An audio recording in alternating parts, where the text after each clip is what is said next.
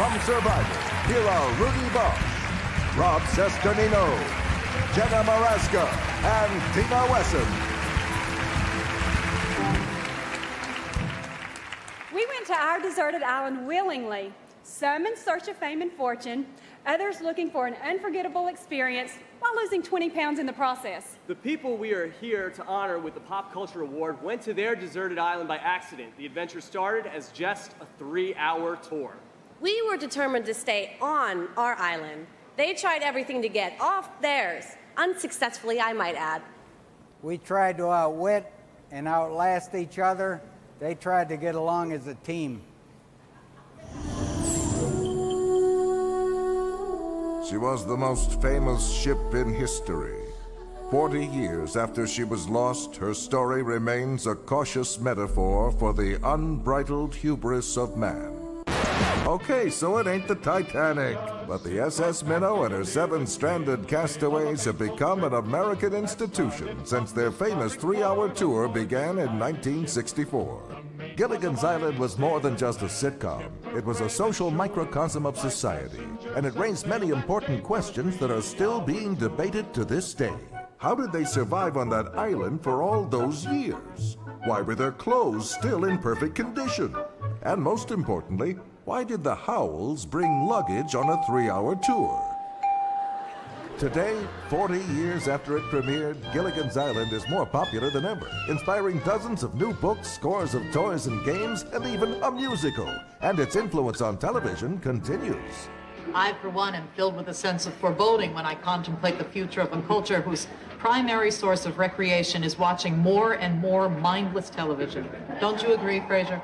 Now, why is Gilligan magnetized? Gilligan's Island will forever be a part of our popular culture. And as long as it's on the air, it will continue to inspire the biggest debate in television history Ginger or Mary Ann?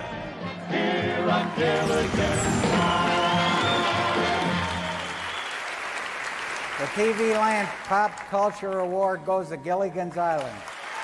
Please welcome the creator and producers, Sherwood and Lloyd Schwartz, and the cast of Gilligan's Island, Marianne, Dawn Wells, the movie star, Tina Louise, the professor, Russell Johnson, representing the skipper, Alan Hale Jr., is Lana Hale, and Gilligan himself, Bob Denver.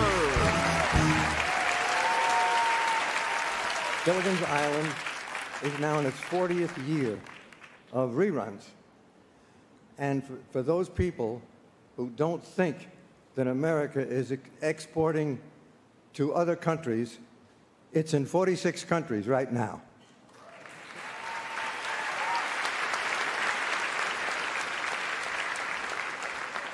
I'm just sorry the skipper, Alan Hale, and Jim Backus, who was the millionaire or billionaire, and his wife, Natalie Schafer, aren't here to enjoy this tribute as well. I just want to say something. I just want to thank Sherwood Schwartz for bringing family values to television in 1964, and he's still talking about it ever since. Thank you, darling.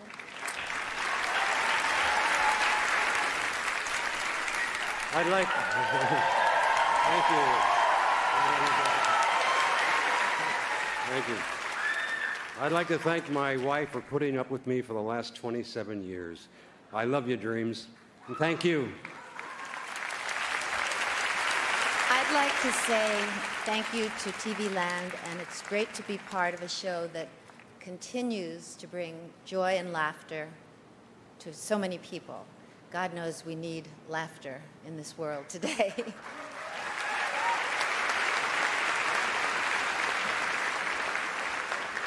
I want to thank the people of New Zealand